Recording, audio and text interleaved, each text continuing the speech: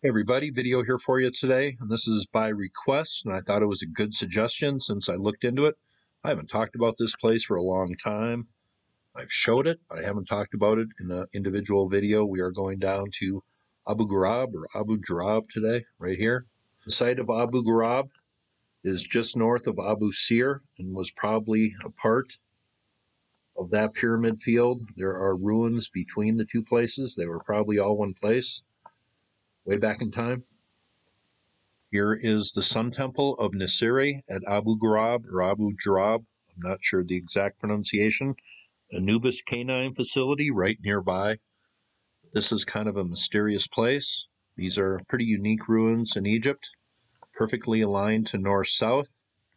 Just to the north of it, a first dynasty necropolis, and you put in a necropolis around an ancient structure. In the first dynasty, what structure did they view as ancient and sacred for their necropolis, I wonder? Burials stopped out here about the 5th dynasty. They say the Sun Temple was built by Nyuserre in the 5th dynasty. There are a few things that appear under the sand that I wonder there are buried structures out here. Right there is one of them. Right there. They say there are six sun temples and only two of them have been excavated in Egypt. Here's a diagram done over 100 years ago at the pyramids at Abu Sir, the temple at Abu Ghurab up here on the far right, all part of the same plan or the same place a long time ago.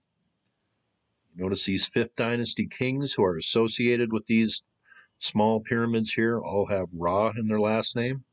It was all about the sun. Here are some ruins at Abu Ghurab. These basins are a big mystery. We'll get a better look at those in a second here.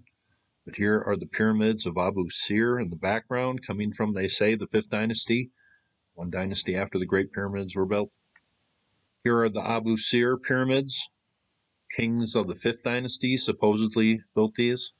One dynasty before, in the fourth dynasty, they were supposedly building the greatest monuments on earth. Here's a diagram from Maspero coming from over 100 years ago. This is his view on how this place originally looked. Really doesn't look like any other ruins we see in Egypt kind of a mini obelisk here, aligned to the cardinal points on top.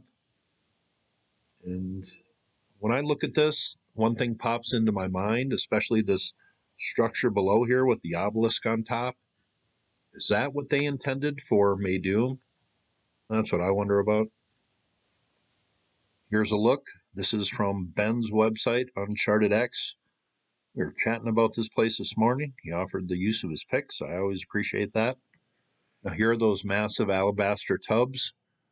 And I asked Ben again, we talked about this in a video about a year ago, what we thought these were, and that one makes a good mystery when you really don't have any good explanation.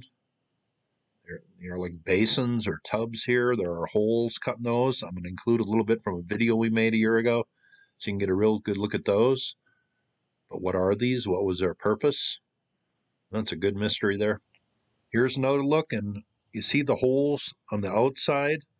I mean, it almost seems like some kind of cog to a machine. Why would they have these holes on the outside like that? Uh, ancient Egypt is pretty weird and mysterious, I'll tell you that. Here's another up close look. I want to thank Ben for allowing me to use these pics. We still don't know a good explanation for these. I asked him about that earlier because I want to know if he had come up with anything in the last year on these. And really, it's a big mystery. These were moved, kind of lined up to where they sit today. So the original position of these is unknown. Also, Ben, hope your ankle's feeling better. I didn't tell you that earlier. Here's another look at these basins. Why alabaster? Why the holes kind of up in the middle here? We'll have a good look at those. I know Luke from Enigmas of an Ancient World made a video down here. He is Ben's old partner from Pukaje. So if you want to check out Enigma of the Ancient World, he makes some very good videos too. Luke over there. Here you see where these sit, the ruins of the Sun Temple right there, and then the basins lined up, not in their original position. So that doesn't help as far as what these were originally but a big mystery, that is for sure. Looks like that is Yusuf right there. Here is Ben on what they call an altar at the site, maybe for lack of a better word for it. made of alabaster here. Big circular stone in the middle. Line to the cardinal points here. Maybe something mysterious underneath it. Here's where that object sits. We'll get a little look at that coming up here. But here is the Sun Temple ruins. Seems a really good stonework here at the bottom. Up on top, maybe not so good. Here is a look at it close up. Circular object made of alabaster inside a square opening aligned to the cardinal points. Here's some evidence of some ancient drilling at the site here. Here's another look from the site. These appear a little bit different than the ones I just showed but certainly a mystery here coming from Abu Ghurab here at sunset. I want to thank Ben for these pics. Now let's just look at a video clip we made during a, about an hour long video we made a year ago. This clip starts off right by Abu Ghurab at Abu Sir, these small pyramids here. And I asked Ben if it, he just feels like he is walking on top of something when he's walking around up here.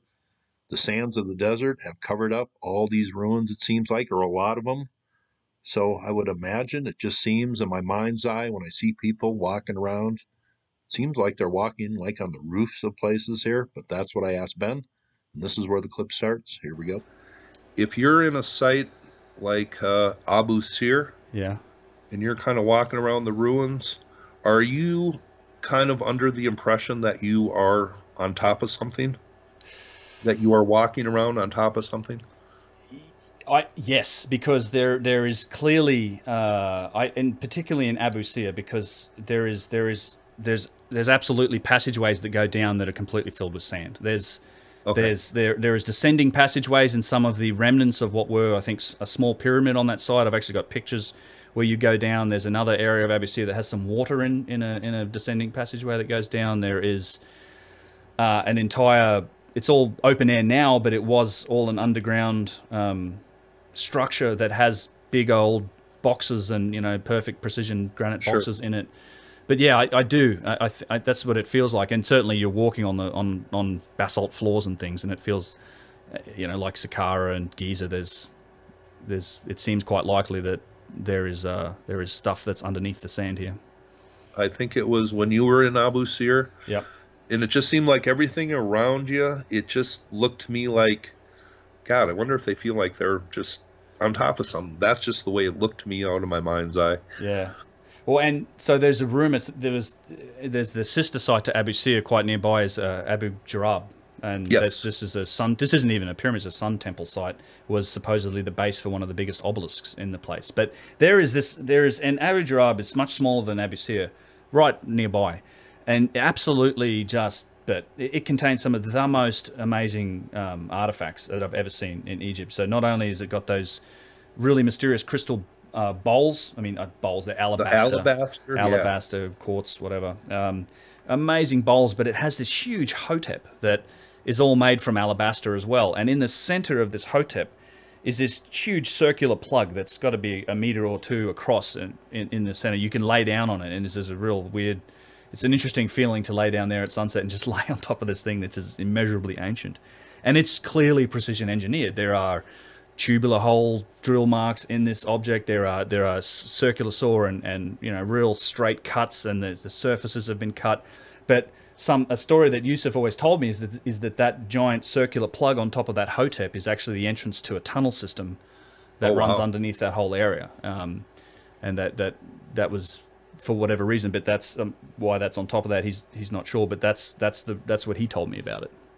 Now those big alabaster, I don't even know what the description of them, but they're yeah. like tubs.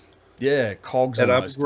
Now the standard line on those is they are basins where animals were sacrificed and the holes let the blood drain out. I thought that was a little strange. Yeah, it, it, doesn't make a lot of sense to me because you're right. They do have holes in them that, that would not let the bowls fill up very much if because you have these like four inch again straight precision cut holes in the side of these blocks and and a very strange pattern on them. I mean, it's these they almost look like cogs to me. These giant cogs. And when I put this video together, I'll, definitely put some footage of these in here. Um, yeah, it's a very strange design. They're, they're cut out of these giant square blocks of, of alabaster Uh, and a, they've all been moved around on the site. They, I think they were trying to take them to a museum and then decided they were too heavy, so they just left them out at at, uh, at Abu Ghurab. But there's a whole bunch of them. There's also a, a, bunch more of them around the side of the, the base for the obelisk, which and these aren't quite the same as those. They're, they're more smoother. They don't have the cog-like protrusions on them. They're just round circular bowls, but they do also have um, a drill hole in them. Do you which, know what alabaster represented? to the Egyptians? No. I I did some reading where I know red granite represents like fire and limestone represents water. Right. But I just can't remember what alabaster. I know. I mean that the fact that they use alabaster has to be significant and yeah. with purpose. I encourage you to check out Ben's website if you think his videos are informative. His website is just chock full of great pics and good information. That's a video on this ancient sun temple. That's what they think was here a long time ago. First dynasty necropolis built right nearby. Why was that? I always get good comments on my videos. I have some smart subs, that's for sure. What do you think these were used for? Some sort of machine, something else? Sacrificing animals and letting the blood drain? That is suggested. I think that is a little ridiculous. Would you have gone through all that trouble for that? What were these notches on the outside with the holes? It's all a big mystery. That's why I'm making this video. That is my video on Abu Jarab down here, just north of Abu Sir, just south of Giza and Zawyet Al Aryan. Hope you thought that was informative. And you all have. a Very safe day.